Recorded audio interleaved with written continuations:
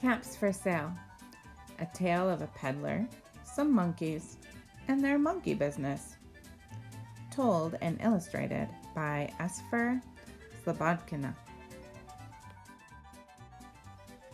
Once there was a peddler who sold caps, but he was not like an ordinary peddler, carrying his wares on his back. He carried them on top of his head. First, he had his own checked cap, then a bunch of gray caps, then a bunch of brown caps, then a bunch of blue caps, and on the very top, a bunch of red caps. He walked up and down the streets, holding himself very straight so as not to upset his caps. As he went along, he called, Caps! Caps for sale! 50 cents a cap! One morning, he couldn't sell any caps. He walked up the street and he walked down the street, calling, Caps! Caps for sale! 50 cents a cap! But nobody wanted any caps that morning. Nobody wanted even a red cap. He began to feel very hungry but he had no money for lunch. I think I'll go for a walk in the country, said he, and he walked out of town, slowly, slowly, so as not to upset his caps. He walked for a long time until he came to a great big tree. That's a nice place for a rest, thought he, and he sat down very slowly under the tree and leaned back little by little against the tree trunk so as not to disturb the caps on his head. Then he put up his hand to feel if they were straight.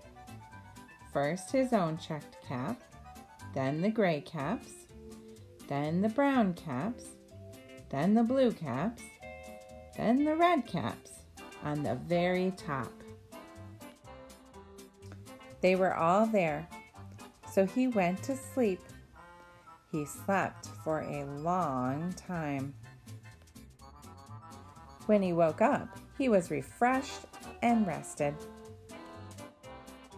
But before standing up, he felt with his hand to make sure his caps were in the right place. All he felt was his own checked cap. He looked to the right of him. No caps. He looked to the left of him. No caps. He looked in back of him. No caps. He looked behind the tree. No caps. Then he looked up into the tree. And what do you think he saw?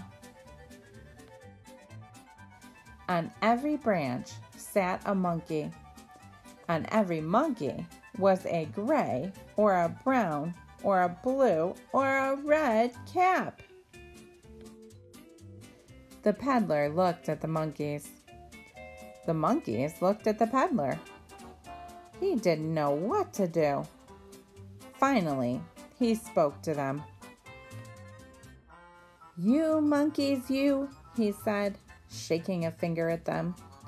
You give me back my caps. But the monkeys only shook their fingers back at him and said, toot, toot. This made the peddler angry. So he shook both hands at them and said, You monkeys, you, you give me back my caps. But the monkeys only shook both their hands back at him and said, toot, toot. Now he felt quite angry. He stamped his foot and he said, You monkeys, you, you better give me back my caps. But the monkeys only stamped their feet back at him and said, Toot, toot, toot. By this time, the peddler was really very, very angry. He stamped both his feet and shouted, You monkeys, you, you must give me back my caps. But the monkeys only stamped both their feet back at him and said, toot, toot. At last, he became so angry that he pulled off his own cap, threw it on the ground, and began to walk away. But then, each monkey pulled off his cap, and all the gray caps, and all the brown caps, and all the blue caps, and all the red caps came flying down out of the tree. So the peddler picked up his caps and put them back on his head. First his own checked cap, then the gray caps, then the brown caps, then the blue caps, then the red caps on the very top.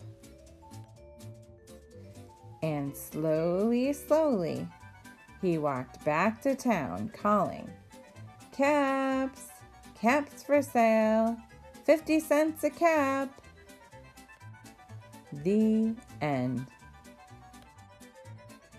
If you like this read aloud and would like to hear more, please like, subscribe, and share with your friends.